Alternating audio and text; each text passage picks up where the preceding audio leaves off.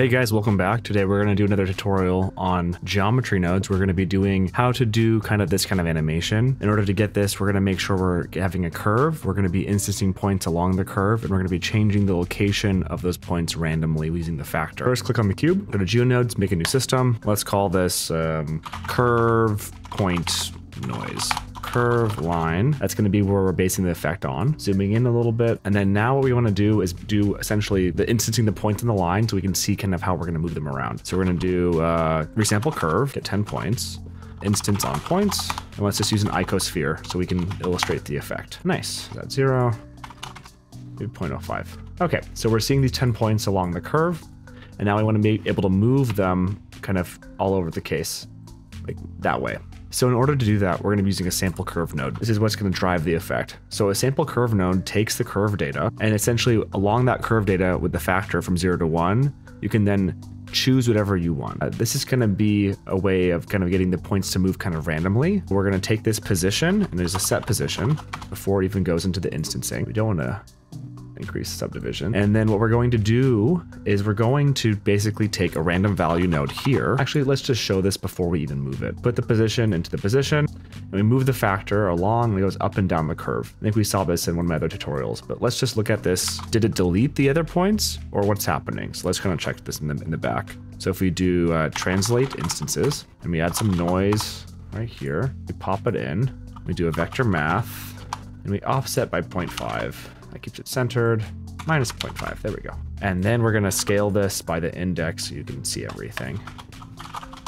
There we go. So it looks like the point is kind of dancing around like one point. But with the, if we you know, have it multiplied by the index, we can see it's actually all 10 points are moving around in different areas. So it's just setting all of the points of that curve to the same spot on the factor. So then if we were to add a random value here, we then kind of get this scattering effect. Um, and so then the best way to kind of make it look move around is we add a math and then we do a, a fraction. So it will stay between a zero and one. And then we add another math node right here. We say add. If you go really small, you can see, actually, my bad. Back here, delete that guy. Go into this guy. You can see it moving up and down. And then the center point's not moving because that's the index of zero. So if we take out this, it will then look like all of the points are kind of moving around and kind of repeating the same flow. And obviously you can change the seed here and that will change how the points are being distributed. So what it's doing is it's setting all of the points, all 10 points, along the factor at a random value across different positions. And that's how it's able to do that. To make it look good for an animation, let's just do this really quick. Let's add in 180 for frames. I like to do 60. Let's say 60. I need three seconds. Starts at zero. Let's delete the keyframe. We pulled at zero. Scene time.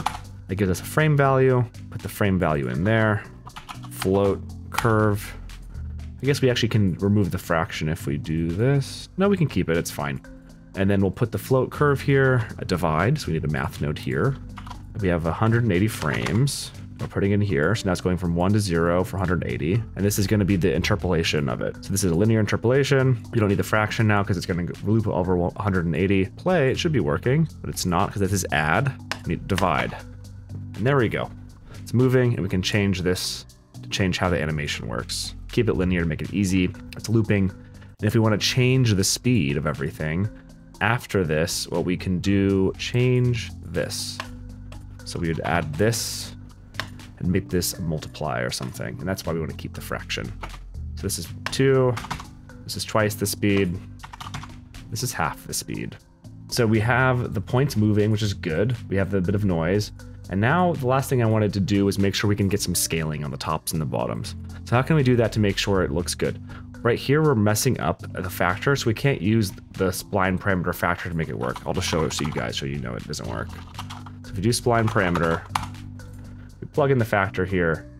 Yes, it does scale them, but it's not scaling at the tops and bottoms, so things are kind of disappearing. So I want to make sure we can get them to look like they're appearing out of nowhere. So up here, we can go here.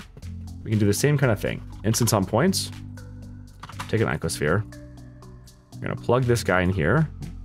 Plug this guy in here. Now on the endpoints of the curve, we now have these two little guys. So what we can do is realize this geometry. And now we have real face data, and we can say uh, then geometry proximity. So now we have a geometry proximity of this face data and the sample position down here after it's moved for the points. So we say capture attribute position and we plug that in here. Now we should have the distance function here. So plug the distance into this scale. Should be nice and clean. And it looks like it's working. It's getting nice and small. Maybe increase this radius to 0.1. Now let's watch. Good.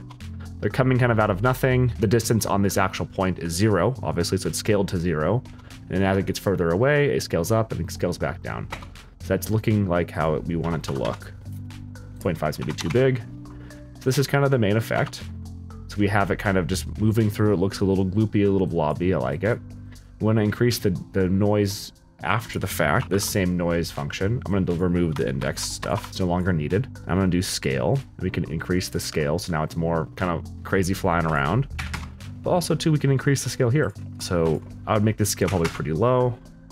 Maybe increase this one out so it gets a bit further out. And now we kind of have these points moving around. You could add more noise, rotate instances. Yeah, let's just do a random value. And let's add a vector. Actually, we can keep it as a float minus pi to pi, plug that guy in, change the seed. We want to have it move around over time, so we need to have that same float curve over here. This is the same animation driver. We can then multiply it in. Vector math. And then we're going to do a multiply. Pull this in. And it should have it be moving around over time. Hope you guys found this interesting, and please leave a comment below. It really helps the algorithm. It means a lot, guys. Thanks so much. See you next time. Augury.